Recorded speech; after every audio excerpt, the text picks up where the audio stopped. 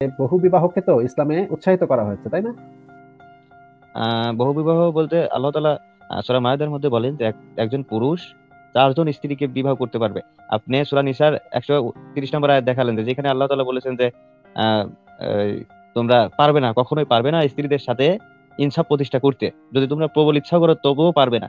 কিন্তু আল্লাহ তালা সুরা নিসার চার থেকে দশ নম্বর আয়াতের মধ্যে বলেন যে তোমরা যদি ইনসাফ প্রতিষ্ঠা করতে পারো তার মানে এখানে আল্লাহ তালা কি মিন করতে চাচ্ছে? যে অবশ্যই কিছু মানুষ থাকবে যারা আল্লাহর রহমতে ইনসাফ প্রতিষ্ঠা করতে পারবে। তাদেরকে আল্লাহ তালা বলতেছে তোমরা চারটা বিয়ে করো। বিষয়টা অন্যরকম হয়ে গেল না? 29 30 নম্বর আয়াতে তো বলা আছে তোমরা কখনো ইনসাফ করতে পারবে না কখনো। সবার জন্য বলেছেন কখনো ইনসাফ প্রতিষ্ঠা করতে পারবে না। এটা তো কখনো শব্দটা সেখানে আছে। কোরআনের আপনি কি হ্যাঁ, হ্যাঁ আমি আমি একটু বলি।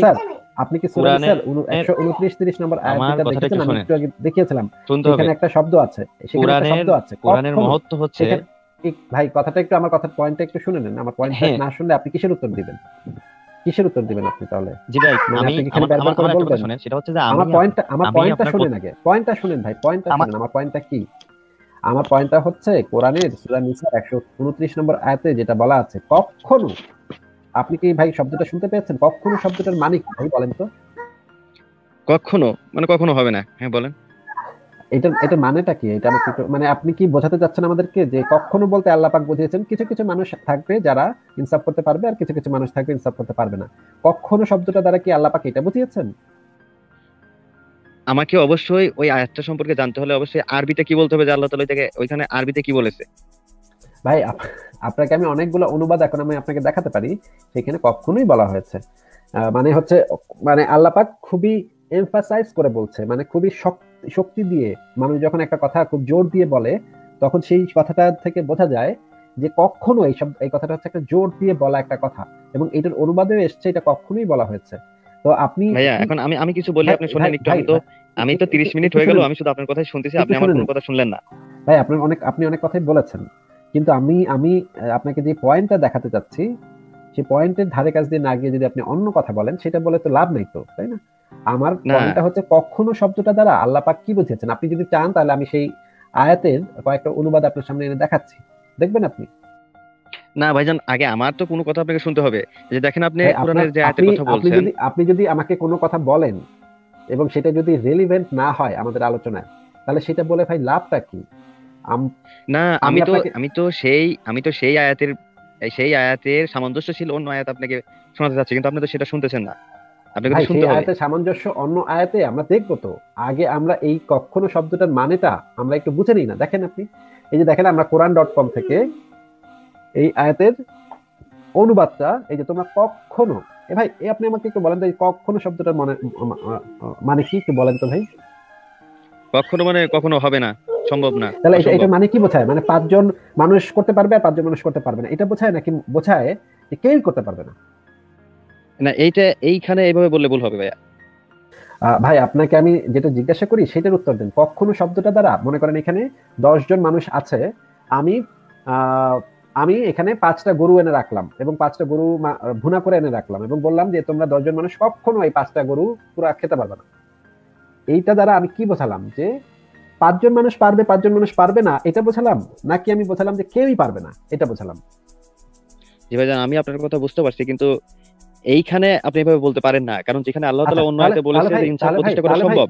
তাহলে ভাই আমরা এই আয়াতের অন্যান্য অনুবাদগুলো দেখি যে এই আয়াতে হয়তো আপনার আপনি আপনার মনে হতে পারে এই কখনো শব্দটা হয়তো ভুল হতে পারে।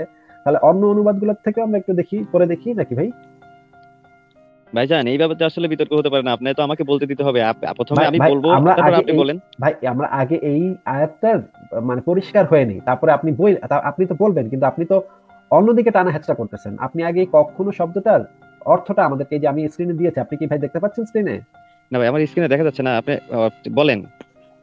ভাই, আপনি একটু ভালো ইন্টারনেট নিয়ে একদিন আসবেন, ঠিক আছে? আচ্ছা আমি আপনাকে কয়েকটা অনুবাদ, আমি স্ক্রিনে কয়েকটা অনুবাদ চোখের সামনে এনেছি, ঠিক আছে? আপনি হয়তো দেখতে পাচ্ছেন না, কিন্তু আমি আপনাদেরকে পড়ে আপনাকে পড়ে শোনাচ্ছি। এটা হচ্ছে তাইসরুল কুরআন থেকে আমি যে অনুবাদটা দেখাচ্ছি, সেটা হচ্ছে তোমরা কখনো স্ত্রীদের মধ্যে সমতা রক্ষা করতে পারবে না। যদিও প্রবল ইচ্ছা করো। তারপরে শেখ মুজিবুর রহমান যে অনুবাদটা করেছেন, তোমরা কখনো স্ত্রীগণের মধ্যে সুবিচার করতে পারবে না। যদিও তা, তোমরা তা কামনা করো তারপর হচ্ছে আল বায়ান শরীফ মানে হচ্ছে সরাসরি সৌদি আরব থেকে যেটা প্রকাশিত হয়েছে সেখানে বলা হচ্ছে আর তোমরা যতই কামনা করো না কেন তোমাদের স্ত্রীর মধ্যে সমান আচরণ করতে কখনো পারবে না। কখনো পারবে না। কখনো পারবে না। হ্যাঁ ভাইজান আমার একটা ছোট্ট একটা রিকোয়েস্ট ছিল ভাই আপনার কাছে একটা ভাই ভাই রিকোয়েস্ট ভাই ভাই- ভাই ডক্টর আবু বকর জাকারিয়া যিনি হচ্ছেন বাংলাদেশের এই মুহূর্তে সবচেয়ে বড় আলেম ওনার একটা তাফসির গ্রন্থ আছে ডক্টর আবু বকর জাকারিয়া ভিডিও বানান দেখবেন আপনি এই যে কুষ্টিয়া ইসলামিক বিশ্ববিদ্যালয়ের এই বিষয় উনি যে অনুবাদটা করেছেন। আর তোমরা যতই ইচ্ছা করো না কেন, তোমাদের স্ত্রীদের প্রতি সমান ব্যবহার করতে কখনোই পারবে না। কখনোই পারবে না। আমি আপনাকে যেটা জিনিস জিজ্ঞাসা করেছি যে প্রত্যেকটা অনুবাদে এখানে কখনো জিনিসটা উল্লেখ করা আছে। কিন্তু আপনি বলছেন, এই কখনো বলতে বোঝানো হয়েছে, বেশিরভাগ মানুষই পারবে না, কিন্তু কিছু মানুষ পারবে। কিন্তু আমি তো কখনো শব্দের এরকম অর্থ কোনোদিন শুনি নাই যে কখনো বলতে এটা বোঝায় যে মানে একশো জনের ভিতরে পঁচানব্বই জন পারবে না পাঁচজন পারবে। এটা তো কখনো বলতে বোঝায় না। কখনো বলতে বোঝায় কেই পারবে না। একশো জনের ভিতরে একশো জনই পারবে না। এটা বোঝায়। হ্যাঁ ভাইজান আপনার বলা কি শেষ? আমি কি এখন কিছু বলতে পারব? আপনি এই পয়েন্টটাতে বলতে পারবেন অন্য কোনো পয়েন্টে বলতে পারবেন না। হুম। আপনাকে এই আয়াতের ব্যাখ্যা করতে হলে আপনাকে দেখতে হবে এই আয়াতটা কখন নাজিল হয়েছে কোন বিষয়কে লক্ষ্য করে এই আয়াতটা নাজিল হয়েছে। এই আয়াতের আগের আয়াতে আল্লাহ তালা কি বলেছেন এবং এই আয়াতের পরবর্তী আয়াতে আল্লাহ তাআলা কি বলেছেন? তাহলেই এই আয়াতের মর্ম কথা আমরা বুঝতে পারব। ভাই আপনাকে আমি একটা- ওয়ার্ডের মানে জিজ্ঞাসা করেছিলাম। এই কখনো শব্দটার মানে জিজ্ঞাসা করেছিলাম। আপনাকে আমি আয়াতের মানে জিজ্ঞাসা করি নাই ভাই। কখনো শব্দটার মানে জিজ্ঞাসা করেছি ভাই? না ভাইজান আমার কখনো আপনি তো আহ, এই যে বঙ্গবন্ধু শেখ মুজিবুর রহমান উনি যুদ্ধের সময় বলেছেন যে আমি তোমাদেরকে ভাতে মারবো পানিতে মারবো এরকম একটা বক্তব্য আছে। আমরা যদি শুধু যদি ধরেন আমি যদি বলি যে আপনি কখনো শুকর খান নাই শুকরের মাংস খান নাই তার মানে এটাই অন্যরা বুঝবে যে আপনি জীবনে কোনো দিনও শুকরের মাংস খান নাই। এখন আরেকজন যদি এসে বলে না ভাই শাহরিয়ার ভাই শুধু শুক্রবার দিন শুকরের মাংস খায় বাকি ছয় দিন খায় না। এটারই বোঝানো হয়েছে কখনো খায় না। এইটা তো ভাই কোনো লজিক্যাল কথা হইল না তাই না? না ভাইজান আমি তো আমি তো বলতেছি আপনাকে অবশ্যই এর আগের আয়াত এবং পরের আয়াত আপনাকে আগের আয়াত পরের আয়াত আমরা দেখব আগের আয়াত পরের আয়াত দেখব। আগে এই কখনো শব্দটার মানে কি?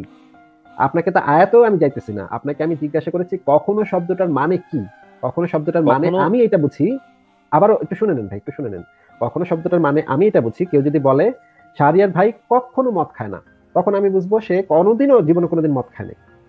কিন্তু জি আরেক এটাই লোক ঠিক। যদি এসে বলে আরেকজন লোক এসে যদি বলে যে শাহরিয়ার ভাই শুক্রবার দিন রাতে একটু মদ খায় আর বৃহস্পতিবার দিন সন্ধ্যা একটু মদ খায় এইটা দ্বারাই ওই কখনো বোঝানো হয়েছে। কখনো খায় না তার মানে ওই দুই দিন বাদে সব কখনো খায় না। ওই দুই দিন খালি খায়। ভাই আমি তখন তারে বলব যে ভাই আপনার কথাটা তাহলে ভুল। এখানে তাহলে কখনো শব্দটা এখানে অ্যাপ্রোপ্রিয়েট ওয়ার্ড না। অ্যাপ্রোপ্রিয়েট ওয়ার্ড হবে যে সপ্তাহে পাঁচ দিন খায় না দুই দিন খায়। এইরকম এইভাবে বলা উচিত ছিল। কিন্তু আপনি যখন বলছেন কখনো খায় না সেটা দ্বারা এটাই বোঝায় যে কখনোই খায় না। জি ভাই বুঝতে পারছি আপনার কথা। আমি তো আপনার এই ব্যাপারে আপনার সাথে আমি একমত। কিন্তু আমার আমার সাথে তো আপনার একমত হতে হবে যে এই আয়াত সম্পর্কে জানতে হলে অবশ্যই আমাদেরকে এই আয়াতের ব্যাখ্যাটা জানতে হবে নাজিলের সময় জানতে হবে। আপনি আগে আমাকে বলেছেন যে কখনো বলতে এখানে কখনো বোঝানো হয়নি কিছু কিছু মানুষ করতে পারবে কিছু কিছু মানুষ করতে পারবে না। ভাই আপনার কথাটা কি আমার আমার কথা আপনাকে শুনতে হবে। সেটা হচ্ছে এরকম আমি সূরা নিসার চার থেকে দশ নম্বর আয়াতের ব্যাখ্যায় আমি বলেছিলাম যে কিছু কিছু লোক থাকবে যারা ইনসাফ করতে পারবে। আমি এই আয়াতের কথা বলিনি ভাই। ভাই এই আয়াতে যেহেতু বলা হচ্ছে কখনোই করতে পারবে না তখন আপনি কীভাবে আল্লাহর উপর পাকনামি করে বলতে পারেন যে কিছু কিছু লোক থাকবে করতে পারবে কিছু কিছু লোক থাকবে করতে পারবে না? আল্লাহ পাক যেখানে গ্যারান্টি আল্লাহ পাক যেখানে খুবই স্ট্রংলি বলতেছে কখনোই পারবে না তখন আপনি আল্লাহর উপরে কি আল্লাহর উপরে আপনি বেশি পাকনা মানুষ? না সেই যেই আল্লাহ তাআলা বলছে এখানে যে কখনো পারবে না সেই আল্লাহ তাআলাই আবার সূরা আহ, নিসার চার থেকে দশ নম্বর আয়াতের মধ্যে বলছে যে পারবে ইনসাফ প্রতিষ্ঠা করতে পারবে। এই জন্য আমাদেরকে দেখতে হবে তার মানে আপনি একই আমার কথা শুনতে হবে। ভাই ভাই আপনি আপনি অন্যদিকে নিয়ে যাবেন না কথাটা। আমার কথাটা শুনতে হবে। আপনি একটু আগে আমাকে বলেছেন যে কখনোই পারবে না তার মানে হচ্ছে কখনোই না। এখন আপনি আবার বলতেছেন আরেকটা আয়াতে আছে কখনো কখনো পারবে। তার মানে আপনি বলতে চাচ্ছেন আল্লাহ পাক তার কথা মাঝে মধ্যে পাল্টা ফেলে চেঞ্জ করে ফেলে তার আল্লাহ পাক তার কথা। ভাইজান ভাইজান আমার কথা তো শেষ করতে দিতে হবে। আমার কথার মধ্যে তো আপনি কথা বললে হবে না। না, কথা, কথার মধ্যে কথা বললে কেন হবে না ভাই? আপনি তো বলতেছেনই যে এই আয়াতে কখনোই পারবে না বলছে আল্লাহ, ঠিক আছে? কিন্তু আরেকটা আয়াত আপনি এখন আমাকে মানে মানে আমাকে আরেকটা আয়াতের দিকে নজর দিতে বলতেছেন যে সেই আয়াতে আবার বলছে কখনো কখনো পারবে। তার মানে আপনি এখন একটা বড় প্যাচে পড়তে যাচ্ছেন, সেই প্যাচটা হচ্ছে যে আপনি বলতে চাচ্ছেন যে আল্লাহ একই মুখে দুই ধরনের কথা বলে। এক জায়গায় বলে কখনোই পারবে না, আরেক জায়গায় আবার বলে কখনো কখনো পারবে। তার মানে আপনি আল্লাহর একটা মানে ভুল ধরে ফেলেন ভাই। ভাইজান ভাইজান আপনি রসুল সাল্লামের ইনসাফের কথা কি বলবেন? আপনি নিজেই তো এখনও ইনসাফ শেখেন নাই। আপনি অন্যজনের আচ্ছা, ইনসাফ বলতে আপনি তো আমাকে কথাই বলতে দিচ্ছেন না ভাই। আমি বুঝলাম যে আমি ইনসাফ শিখিনি কিন্তু আমাদের পয়েন্ট তো আমি ইনসাফ শিখছি নাকি শিখি নাই সেটা না ছিল না ভাই। আপনি একটু আগে স্বীকার করেছেন যে কখনোই পারবে না বলতে কখনোই না সেটা আপনি আমাকে বলেছেন আপনি একটু আগে আমাকে বলেছেন? ভাইজান ভাইজান ভাইজান আমার কথা শুনেন আপনি একজনকে এরকম ভাবে লাইভে নিয়ে এসে আপনি তাকে কথা বলার সুযোগ দিবেন না এরকম তো বলতে পারেন না ভাই। ভাই আমার কথাটা শুনে নেন আমার কথা শুনে নেন। আপনি একটু আগে বলেছেন যে কখনোই না মানে হচ্ছে কখনোই না। একটু আগে আপনি আমার সামনে স্বীকার করেছেন যে এটা দ্বারা এটাই বোঝানো হয় কখনোই একজন মানুষ কখনোই শুকর খায় না মানে কখনোই শুকর খায় না। একজন মানুষ কখনোই মদ খায় না মানে কখনোই মদ খায় না। এটা একটু আগে আপনি আমাকে বলেছেন। এখন আপনি আবার বলছেন যে এই আয়াতটা বুঝতে হইলে আরেকটা আয়াত আমাদের পড়তে হবে যেখানে আল্লাহ পাক বলেছে, কখনো আবার এটা হয়, কখনো আবার এটা সম্ভব। কিছু কিছু মানুষের পক্ষে আবার সম্ভব। তার মানে আপনি বলতে চাচ্ছেন যে এই দুইটা কন্ট্রাডিক্টরি মানে বিপরীতমুখী আয়াত আছে কোরআনের ভিতরে, যে আয়াত, এই আয়াতটা বুঝতে হইলে এটার যে বিপরীত আয়াতটা আছে, সেটাও আমাদেরকে নজরে আনতে হবে। তার মানে আপনি বলতে চাচ্ছেন যে কোরআনের ভিতরে পরস্পর বিরোধী আয়াত আছে, এটা আপনি আমাকে বলতে চাচ্ছেন নাকি? হ্যাঁ আপনার কি বলা শেষ? এখন আমি বলি। না ভাই বলা শেষ না। আপনি যদি পয়েন্টে বলেন আপনি যতক্ষণ ইচ্ছা বলেন কিন্তু আপনি যদি পয়েন্টের বাইরে বলেন আমি আপনাকে যে পয়েন্টটা বলেছি সেই পয়েন্টে বলেন। আল্লাহ তাআলা ওই আয়াতটা একটা নির্দিষ্ট লোককে নির্দিষ্ট গোত্রকে উদ্দেশ্য করে বলতে পারে। আপনি ওই ওই আয়াতকে তাহলে সেটা প্রমাণ দেখান তাহলে সেটা প্রমাণ দেখান যে এই আয়াতটা আল্লাহ পাক শুধুমাত্র নির্দিষ্ট একটা মানুষকে বা নির্দিষ্ট একটা গোত্রকে উল্লেখ করে বলেছে সেটা প্রমাণ কোথায় ভাই? হ্যাঁ আমি আমি এই জন্যই বলছিলাম যে আপনাকে যে আয়াত নিয়ে আপনি কথা বলবেন সেই আয়াতের আগের আয়াতগুলো আপনাকে জানতে হবে পরের আয়াতগুলো ঠিক আছে সেই আয়াতের আগের আয়াত পরের আয়াত আমরা এখনই দেখব এখনই দেখে নিব। আপনি হ্যাঁ বলছেন হ্যাঁ অবশ্যই। যে সূরা নিসার এই যে একশো উনত্রিশ নম্বর আয়াতটা এটা একটা গোত্রকে উল্লেখ করে বলা হয়েছে। এখন একটু পরে কিন্তু যে আবার আমি ওইভাবে বিষয়টা বুঝাই নাই। আমি বলছি যে এরকমও হতে পারে। অতএব। আমাদের কি করা দরকার? আগের এবং পরের আয়াত জানা দরকার। হতে পারে আবার কি? হতে পারে আমি তো হতে পারে বলে আমি কিছু জানি না ভাই। আপনি হয় বলবেন এইটা হয়েছে অথবা বলবেন এটা হয় নাই এই আয়াতটা যদি একটা গোত্রকে উল্লেখ করে বলা হয় থাকে যে শুধুমাত্র কুরাইশ গোত্রকে উল্লেখ করে এটা বলা হয়েছে এই আয়াতটা আর কোনো গোত্রের ব্যাপারে এই আয়াতটা প্রযোজ্য না। এটা কি আপনি বলতে চাচ্ছেন? ভাইজান গোত্র বলতে আমি বোঝাচ্ছি যে আগের আহলে কিতাবদের তো বলতে পারে আমি সেই কথা বোঝাইতে চাইছি ভাই। না তাহলে সেটার তো প্রমাণ আপনাকে দেখাতে হবে যে এই আয়াতটা আহলে কিতাবদের ক্ষেত্রে বোঝানো হয়েছে সেটা প্রমাণ আপনার কাছে কোথায়? সেটা কোন তাফসিরে পড়েছেন এটা? আমি তো আমি তো আপনাকে বলতেছি যে এই জন্য আমাদেরকে জানতে হবে যে তার যে আমরা কথা অবশ্যই জানব অবশ্যই জানব। কিন্তু আপনি কোথায় পড়েছেন সেটা আমাকে উল্লেখ করবেন না যে আমি ভাই তাফসিরে ইবনে কাসির বা তাফসিরে জালালাইনে পড়েছি। এই আয়াতটা শুধুমাত্র কোরাইশ বা আহলে কিতাব বা ইহুদিদের উদ্দেশ্যে বলা হয়েছে। অন্যদের উদ্দেশ্যে বলা হয় নাই। সেটা আমাকে রেফারেন্স উল্লেখ করতে হবে না আপনার? জি ভাই এইভাবে তর্ক করলে কোনোদিনও সমাধান হবে না। আপনি একটা কাজ করতে পারেন। যে বিষয় নিয়ে কথা বলবেন ওই বিষয়টা আগে জানালে ভালো হয়।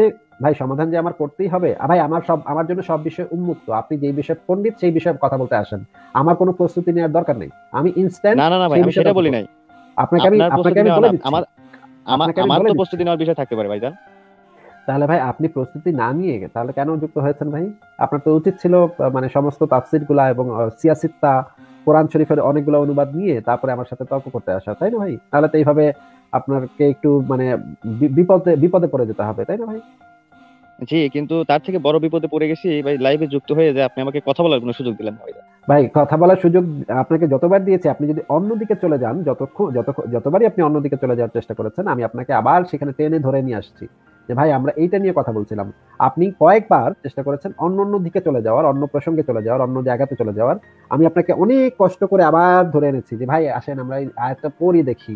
আসেন ভাই, আমরা এই আয়াতটার আমরা স্ক্রিনে দেখি। আসেন ভাই, আমরা এই আয়াতটার কয়েকটা অনুবাদ দেখি।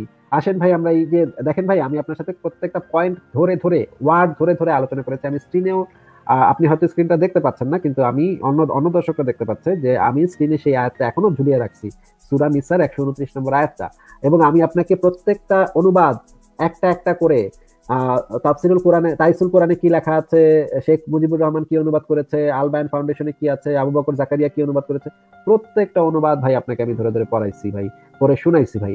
এরপরে যদি আপনি বলেন যে আমি আপনাকে ইয়া করি নাই সুযোগ দেই নাই, ভাই আমি প্রত্যেকটা অনুবাদের প্রত্যেকটা ওয়ার্ড ধরে ধরে আপনার সাথে আলোচনা করছি ভাই। আমি চেষ্টা করেছি যে আপনি একবার বলেছিলেন যে এটার অনুবাদে সমস্যা থাকতে পারে, এটা কখনো অনুবাদ করা হয়েছে এটা অনুবাদে সমস্যা থাকতে পারে। এই কারণে আমি চারটা অনুবাদ আপনার সামনে নিয়ে আসছি। প্রত্যেকটা অনুবাদ থেকে আমি দেখাইছি। আপনি যে কয়টা হাদিস দেখতে চাইছেন, প্রত্যেকটা হাদিস আমি দেখাইছি স্ক্রিনে দেখাইছি। প্রত্যেকটা হাদিসের ওয়ার্ড ধরে ধরে আমি আপনাকে দেখাইছি। এর কিন্তু বিপরীতে আপনি একটাও হাদিস আপনি আমাদেরকে শো করেন নাই, একটাও রেফারেন্স আপনি আমাদেরকে শো করেন নাই। এরপরে যদি আপনি বলেন যে আমি আপনাকে সুযোগ দিইনি তাহলে তো ভাই কিছু বলার নেই। আমি অবশ্যই আপনার এই আয়াত এবং হাদিসটা নিয়ে আমি লাইভ করব ইনশাল্লাহ আমি আপনাকে লিংক পাঠাবো ভাই আচ্ছা ঠিক আছে ভাই আপনি যদি আমার সাথে পরবর্তীতে কখনো যুক্ত হন তাহলে চেষ্টা করবেন যে আপনি কোরআন অনেকগুলা কোরআনের অনুবাদ এবং তাফসির তারপরে হাদিস সিয়াসিতার হাদিস গ্রন্থগুলা সেগুলা একসাথে রেখে তারপরে আমার সাথে যুক্ত হওয়া। ঠিক আছে ভাই? জি ভাই যান অবশ্য আমার ঘরে এখনও তাফসির আছে কিন্তু সময় লেগে যাবে তার কারণে আমি বের করতে চাইলাম না। হ্যাঁ হ্যাঁ আপনি এক কাজ করেন পয়েন্ট মানে দাগ দিয়ে রাখেন। ভিন্ন একটা কালির কলম নিয়ে দাগ দিয়ে রাখেন যে কোন লাইনগুলো আপনি আমার লাইভে এসে বলবেন ঠিক আছে? জি জি অবশ্যই। আচ্ছা, মানে আমার কাছে সকল খণ্ড নাই আপাতত যার কারণে আমি সূরা সূরা মায় সূরা নিসা আমার আচ্ছা ঠিক আছে ভাই আপনাকে এখন এখন তো আর মানে সময় নেই আপনাকে পরে আরেকদিন তারও যুক্ত করব সেদিন আপনি আইসেন কথা বলতে ঠিক আছে ভাই? জি আর আরেকটা আরেকটা বিষয় হচ্ছে যে এরপরের থেকে লাইভ করার আগে আপনি কোন বিষয় নিয়ে অন্য ভাইদের সাথে বিতর্ক করবেন এই বিষয়টা যদি অন্য ভাইদেরকে আগেই জানানোর সুযোগ করে দেন তাহলে ভালো হয়। না না ভাই আমি তো আপনাকে সেটা বলে দিলাম সেটা তো আপনাকে আমি বলেই দিলাম যে আমার কোনো প্রস্তুতি নেওয়ার দরকার নেই। আপনি যে বিষয়ে পণ্ডিত যে বিষয়ে আপনি পড়ালেখা করছেন সেই বিষয়ে এসে আমাকে জিজ্ঞাসা করবেন ভাই এই বিষয়ে আজকে কথা বলব। তখন আমি সেই বিষয়ে কথা বলব কোনো সমস্যা নেই। জি ইনশাল্লাহ ঠিক আছে ভাই ভালো থাকেন তাহলে আপনার জন্য শুভকামনা রইল। জি ধন্যবাদ।